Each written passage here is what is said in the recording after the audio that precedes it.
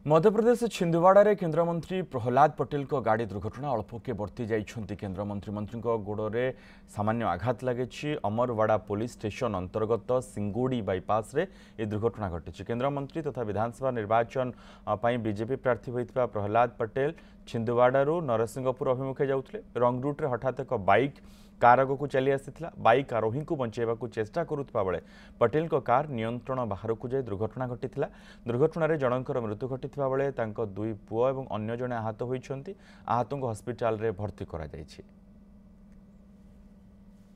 Singodi bypass पर एक दुर्घटना हुई है, जिसमें तीन तीन व्यक्ति घायल हुए हैं और एक व्यक्ति की दुर्घटना में मृत्यु हुई है। घायल व्यक्ति जो है, उनको नागपुर रेफर किया गया है। मृतक, एक मृतक हैं, निरंजन चंद्रवंशी, जो भूला मोगांव के रहने वाले हैं। उम्र उनकी लगभग 35 वर्ष है और घायल उनके दो बच्चे, संस्कार और निखिल हैं और एक अन्य व्यक्ति घायल हैं, उनका नाम जतिन चंद्रवंशी है।